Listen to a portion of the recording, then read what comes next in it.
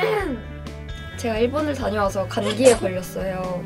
거기도 일교차가 되게 심한데 낮에는 막 어떤 데 가면은 엄청 덥고 또 어떤 데 가면은 찬바람 쌩쌩 불어서 또 춥고 막 이러다 보니까 이렇게 감기에 걸려서 지금 약간 호맹맹이 소리가 음, 나는 것 같아요. 이따가 메이크업 영상에서도 호맹맹이 소리에다가 목소리도 막 걸걸하고 그럴 거예요. 그래서 보실 때 감안하시고 봐주시면 감사할 것 같아요. 오늘은 촉촉한 봄비 메이크업을 가져왔는데 어, 이 메이크업은 구독자분께서 저한테 아이디어를 주신 메이크업이에요. 그래서 요즘 날씨가 진짜로 비가 많이 오고 있죠. 비가 자주 오는데 음, 이런 여리여리하고 촉촉한 봄비 메이크업처럼 아름답게 비가 오지는 않는 것 같지만 요즘 시기에 맞는 그런 메이크업인 것 같아요. 그러면 메이크업 지금부터 같이 한번 시작해 볼게요. 뿅, 뿅, 뿅, 빵, 뺑. 안녕하세요. 원래 이 튜토리얼을 어제 밤에 찍으려고 했는데 어제 밤에 집에 오니까 너무너무 피곤하고 피부 상태가 좀 안 좋더라고요. 그래서 어제 촬영은 접고 지금 이렇게 오늘 촬영을 하려고 하는데 일어난 지 얼마 안 돼가지고 목소리가 살짝 가라앉아 있어요. 살짝이 아닌가? 아무튼 그래서 오늘은 촉촉한 봄비 메이크업을 할 건데 피부 표현은 촉촉하게 해줄 거라서 기초 케어부터 시작을 해볼게요. 물광 피부 같은 거 표현할 때는 제품 여러 개를 뭐 여러 번 바르는 것보다는 수분감 많은 수분 크림 하나를 듬뿍듬뿍 얹어서 흡수를 충분히 시켜주고 베이스를 바르는 게 더 좋은 것 같아요. 베이스가 밀릴 위험도 좀 줄어들고 요 록시땅 Shea Light Comforting Cream 이 크림을 좀 듬뿍듬뿍 발라볼게요. 이거는 저번에 favorite 영상에서 Shea Ultra Rich Comforting Cream을 추천을 해드렸었는데 그때 이 light 버전도 보여드렸었죠. 그래서 이거는 날씨가 풀리면은 사용을 한다고 했었는데 요즘에 Ultra Rich에서 이 light 버전으로 갈아탔어요. 날씨가 너무 따뜻해져가지고 기초 바르는 것도 가볍게 바르게 돼가지고 이거를 바르고 있는데 울트라 리치 버전이랑 어, 간단하게 비교를 하자면은 울트라 리치는 피부에 바르는 버터 같은 느낌이었다면은 이거는 생크림? 생크림 같은 느낌이에요. 그래서 지금 이렇게 바를 때도 발림성도 되게 좋고 수분감에 초점을 맞춘 그런 제품 같은데 음, 그래서 흡수가 되게 빨라요. 지금 이렇게 몇 번 안 두드렸는데도 흡수가 다 됐어요. 오늘은 피부에서도 좀 물광을 이렇게 뿜뿜하는 그런 피부를 하고 싶어서 한 번 이렇게 수분을 먹여주고 한 번 더 발라줄게요. 대신에 먼저 발랐던 크림이 흡수가 다 되도록 충분히 두드려 준 다음에 발라줄게요. 제 직업상 메이크업도 되게 많이 하는 직업이고 또 유튜브로 tutorial 같은 거 찍다 보면은 진짜 피부를 혹사시키는 느낌이 드는데 그럴 때 이렇게 기초 케어 바를 때 모든 과정 다 끝나고 수분 크림까지 딱 발랐을 때 그 뭐라 해야 되지? 안정감? 안도감? 편안함? 그런 느낌 너무 좋은 것 같아요. 지금 이 느낌? 지금 이렇게 다 두드려서 흡수가 어, 다 됐어요. 그래서 한 번 더 발라줄게요. 한 번 더 바를 때는 많이 바를 필요는 없고 그냥 소량씩만 이게 요즘에 사용을 해보니까 이것도 shea butter 성분이 들어있어서 이게 수분 크림인데 수분을 보습을 해주는 유분감이 어느 정도 들어있어요. 저는 이거 하나만 딱 바르고 이거 향이 baby powder 향이 나요. baby powder 좋아하시는 분들은 바를 때마다 기분 되게 좋을 것 같아요. 이렇게 바르면 향이 솔솔솔 이렇게 올라와요. 이렇게 두 번째 발라줄 때도 흡수가 잘 되도록 충분히 두드려줄게요. 이렇게 크림을 듬뿍듬뿍 발라서 굉장히 촉촉한 피부 상태로 만들어줬어요. 다음에는 지금 이쪽에 울긋불긋하게 홍조가 일어난 것 같아서 초록 색깔 corrector를 파운데이션 바르기 전에 발라서 톤 보정을 해줄게요. 퍼프는 클리오의 Hydro 스펀지를 미리 물에 적셔서 갖고 왔어요.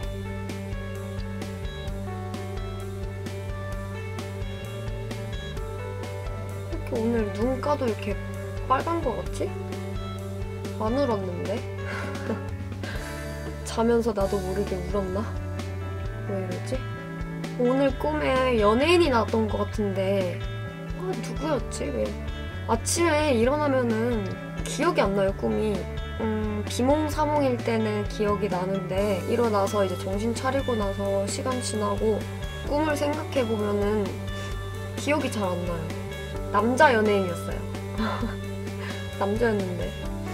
오늘 파운데이션은 에스쁘아의 Pro Tailor Liquid 파운데이션 EX 이게 색상이 아이보리 Pure인데 제가 너무 노래서 손이 많이 안 가는 제품이기는 한데 오늘 약간 사용하는 색조들이 warm한? warm톤의 그런 색들이라서 조금이라도 피부톤을 warm톤처럼 보일 수 있도록 노란 파운데이션으로 발라줄게요. 이 파운데이션도 되게 촉촉하고 쫀쫀한 광이 나서 물광 피부 표현할 때 좋은 그런 파운데이션이에요.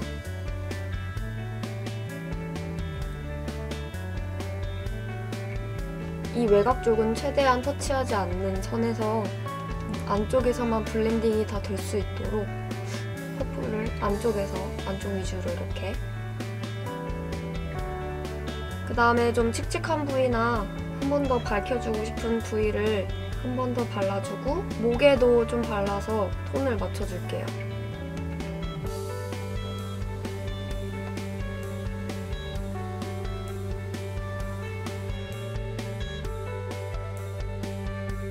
다음에는 다크서클이랑 잡티를 가려줄게요. 요즘에 비타민을 안 챙겨 먹었더니 다크가 아주 그냥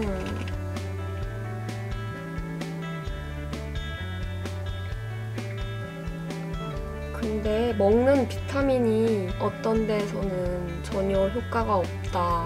몸에 흡수가 되지 않는다.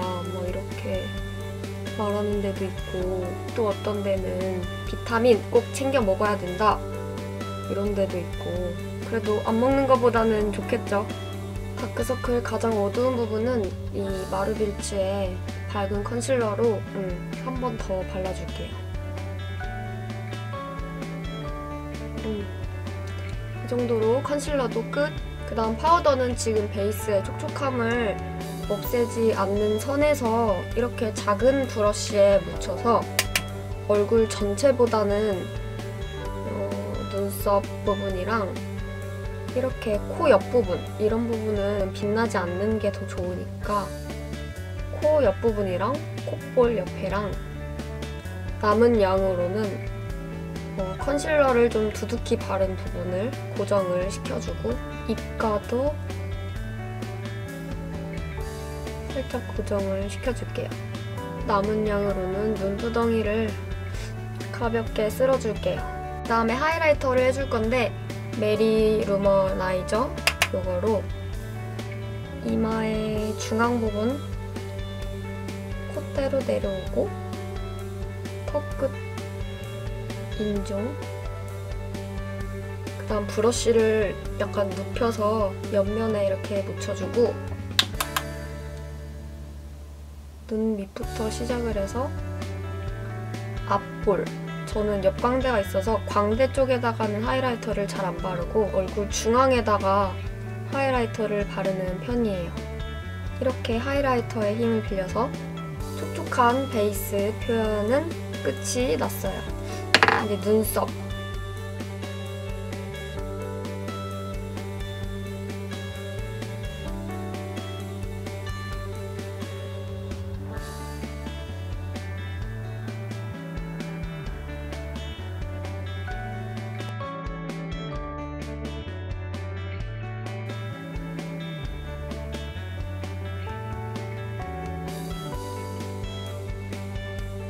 아이 메이크업은 먼저 이 하이라이트 펜슬로 눈썹뼈 밑부분이랑 눈의 중앙 촉촉한 하이라이트 효과를 줄게요. 부담스럽게 인조적인 하이라이트 빔이 아니고 자연스럽게 촉촉해 보이는 그런 종류의 쉬머한 하이라이터라서 손이 잘 가는 것 같아요. 그 다음에는 이 눈 앞머리랑 애교살 앞부분에도 이렇게 발라줄게요. 그 다음에는 이 골드펄이 굉장히 예쁜 은은한 핑크 섀도우를 발색이 잘 되도록 손가락으로 얹어줄게요. 눈 앞머리까지 펄감이 잘 보일 수 있도록 앞쪽에도 이렇게 좀 넘어와서 발라주고 이번엔 새끼손가락에 묻혀서 under의 중앙 부분 다음엔 살구색 브라운 컬러의 matte shadow를 blending 브러쉬에 묻혀서 지금 바른 shadow의 경계 부분을 풀어준다는 느낌으로 blending을 해줄게요.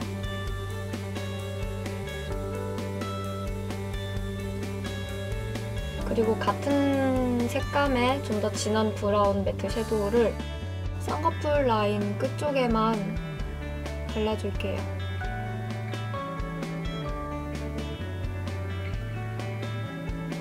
언더라인의 끝쪽에도 터치해줄게요.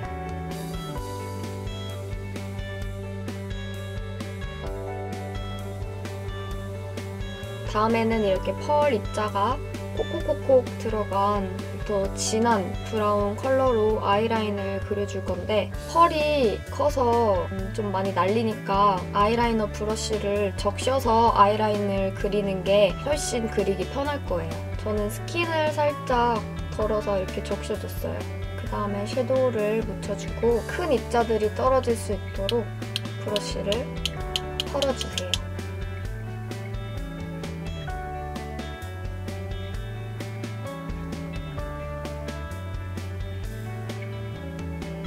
언더라인의 끝부분도 살짝 터치를 해줄게요.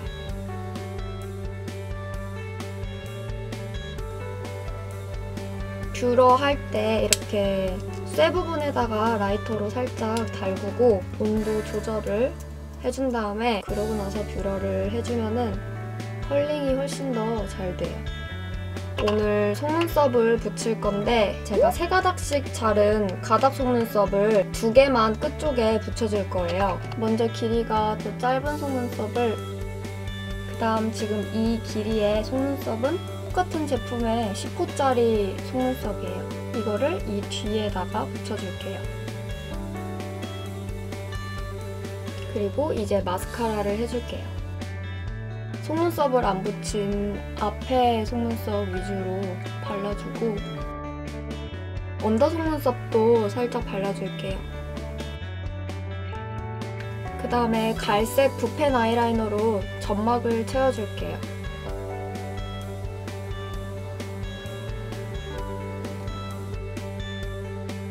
스킨 색깔 eyeliner로 점막의 뒷부분만 칠해줄게요.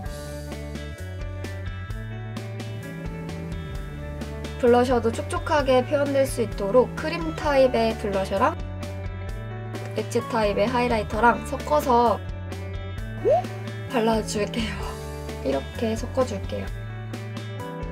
이 눈동자랑 콧망울 끝부분이 딱 만나는 이 가운데 지점에다가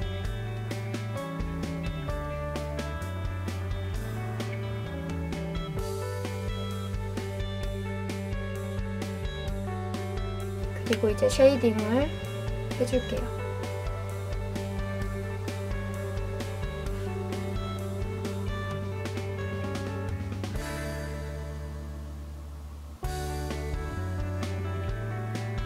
입술은 이렇게 세 가지의 립 제품들을 사용을 해볼 거예요. 그 소리 어떡해. 아, 아.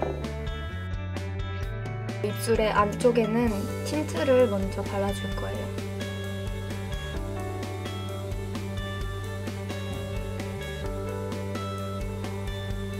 다음에는 저의 얇은 입술도 그라데이션 lip을 가능하게 해주는 이츠스킨의 Satin Lip Pencil Nudie Beige 컬러로 입술의 바깥 라인에 발라줄 거예요.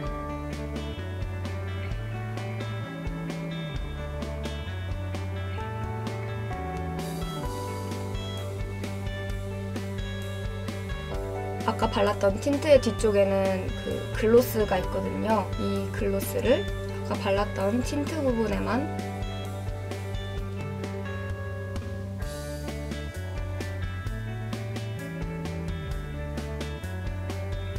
이렇게 발라주고 다시 바깥쪽에는 nudie한 gloss. nudie까지는 아니고 약간 투명 베이지 컬러의 그런 gloss예요. 바깥쪽에는 이 글로스를 다시 전체 다 발라줄 필요는 없고 그냥 입술이 좀 도톰하고 촉촉해 보일 수 있도록 이 입술 섬 입술 산 부분이랑 여기 바깥쪽 이렇게만 발라주면 될 것 같아요. 짠! 자, 메이크업이 완성이 됐어요. 머리를 조금 먼저 볼까나.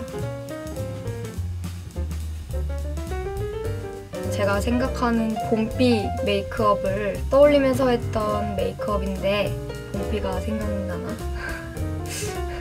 봄비처럼 여리여리한 그런 메이크업이에요. 그래서 오늘 튜토리얼은 여기서 마무리를 지을게요.